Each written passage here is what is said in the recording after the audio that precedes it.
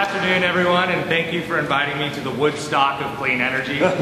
Uh, I don't think I've ever been to a conference with the diversity of clean energy and sustainability activities and companies that I see here today. I want to be very brief because I know that you guys have a lot of very important networking to do. Uh, fortunately, there's no alcohol, so I can speak a little bit longer than, uh, than if it were later in the day. Uh, but really, I want to just emphasize a couple things. Uh, I think the first thing which I think, as Scott mentioned, it is clear as day to me, is that clean energy is ready for launch. After more than three decades of incredibly hard work funding America's best innovators, best entrepreneurs, uh, most forward-leaning financiers, tapping into the truly American ethos of entrepreneurship and innovation, we're now at a point where a wide variety of the clean energy technologies that we've all been working on for a long time are ready for launch. And I just want to talk about a, a few examples. But what that, where that really puts us, in my opinion, is that it's no longer a question for me of whether we're going to get there. It's are we going to get there in time, and are we going to get there in a way where we're going to bear, where, where we're going to harvest the fruit of the trillion-dollar economic opportunity that is before us. As Scott mentioned, more than 260 billion dollars invested last year in the clean energy sector, and in the next five to 10 years, a panoply of clean energy technologies are going to go from uh, almost cost competitive to directly cost competitive without subsidies. And that's when we get into the trillions. And so it's, it's really a stark choice that we have to make. Do we want to step up, make the appropriate investments here in the last five, five yards towards the end zone and make sure that we derive the economic benefit of the transition to a clean energy economy? Or Are we going to walk away and cede global leadership to other nations like China, India, South Korea, and Germany that are going big to try to get this? And so just to give you a few examples of, of amazing accomplishments we've had, we've seen tremendous gains in fuel economy uh, over the last few decades. The investments that EERE has made over the last 30 years, about a billion dollars into cutting edge combustion uh, R&D have resulted in $70 billion of net benefit, uh, both economically and environmentally. That's a 70 to 1 ratio. In electric vehicles, uh, we went from these things being a curiosity uh, some time ago to now we're seeing them be almost directly cost competitive. Over the last four years, together we've reduced the cost of batteries by 50%. And an innovation just made last year uh, with a startup in Argonne National Labs by ARPA-E and EERE together holds promise to drop the cost by another 40%. Uh, and at that point, uh, electric vehicles will become directly cost competitive with, uh, with uh, the standard gasoline vehicles we're driving today. So it's in our sights. We've seen a tripling of electric vehicle sales in the last year, up to 50,000. Uh, this next year, we're going to see 15 new plug-in hybrid models uh, plug-in hybrid electric vehicle models on the market. Uh, and so we're seeing revolutionary change in electric vehicles, and that's coming down the pike. In renewable power, as Scott mentioned, we've made tremendous strides. Uh, we've seen a doubling of renewable power on the grid from wind uh, and geothermal and solar over the last four years. The president has laid the goal out for another doubling by 2020. Last year, there was more wind power added to the grid than any other source of electricity. Over the last seven years, we've doubled the amount of domestic content in all the wind farms in the United States.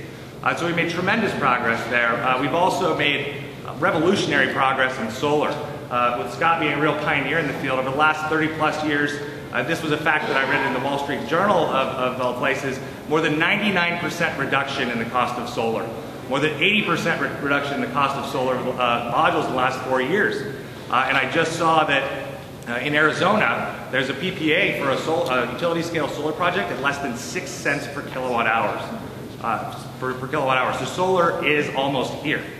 Uh, and we've seen similar gains in efficiency. Uh, our appliance standards program uh, allow, has allowed customers uh, like yourself to save billions of dollars every year on energy costs uh, simultaneously making sure that we're all buying high quality, high efficiency appliances uh, that actually advantages high quality producers in the United States.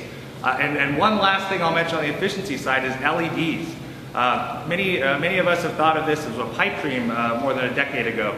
Now we're seeing LED light bulbs that are 80% more efficient than the light bulbs in our house today for less than $10 per bulb. And I am told by the experts that as we get to five to six dollars per bulb, which will happen in the next two years, that market will take off into a massive market and we'll see widespread adoption of, of LEDs.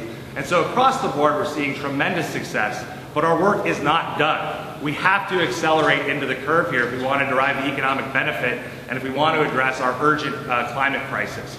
And so going forward, we can't back away. We have to accelerate into the final few laps of this race together. Uh, and so DOE has launched two specific initiatives that I think are, are, are now more important than ever as we are so close to the finish line.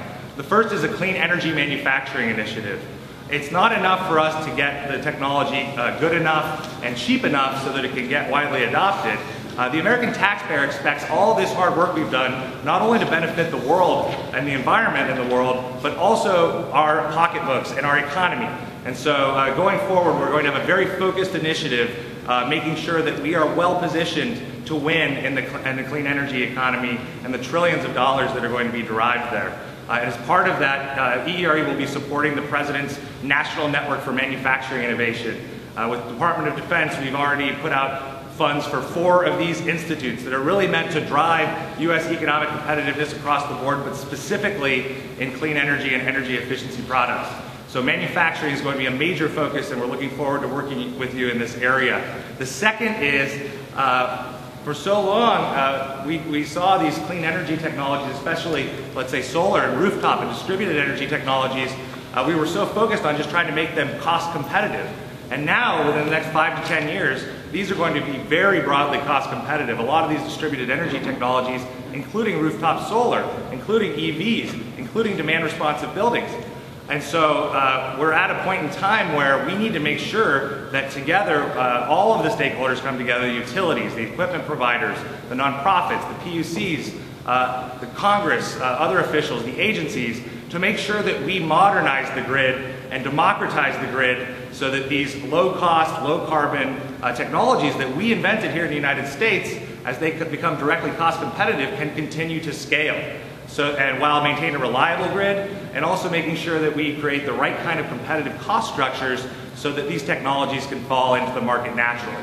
So I think manufacturing and grid integration are two things that we really need to drive together. Uh, and one last pillar I'd say that's going to be very important, especially as a lot of these technologies get towards cost competitiveness, we're finding is finance and soft costs. So as the technology costs go down significantly, uh, we're finding, especially in solar, that we're no longer limited by the technology cost, but by a lot of the paperwork and permitting and finance costs.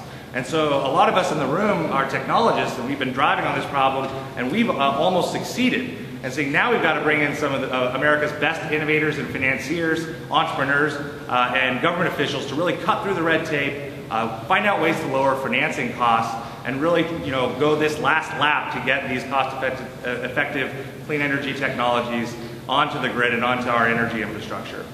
And so with that, I want to thank you all for your hard work. We are so close to success. We are making so much progress. We cannot back down. We will not back down. I look forward to working with each and every one of you to make sure that the clean energy economy arrives and arrives in a way that the United States will benefit economically. Thank you very much.